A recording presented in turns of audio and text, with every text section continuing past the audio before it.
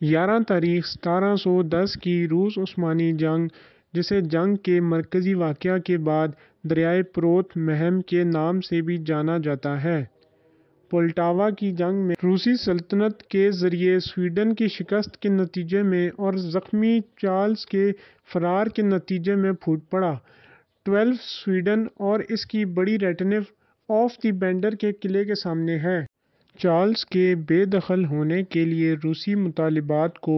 سلطان Ahmad three نے انکار سے پورا کیا گیا، جس سے پیٹر کو سلطنت عثمانیہ پر حملہ کرنے کا اشارہ کیا گیا،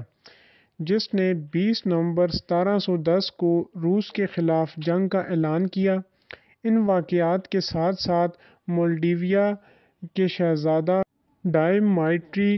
سینٹیمیر اور پیٹر دی گریٹ نے Lutsk three April seventeen eleven کے معاہدے پر دستخط کیے، جس کے ذریعہ مولڈیویا نے عثمانیوں کے خلاف فوج کے ساتھ اپنی جنگ میں روس کی حمایت کرنے کا وعدہ کیا اور روسی فوج کو اپنے علاقے کو عبور کرنے کی اجازت دے کر اور قریب جمع ہونے کے بعد گارنیزن کو جگہ دی۔ مولڈوین کے دارالحکومت آئی اے ایس آئی مشترکہ فوج دو جولائی کو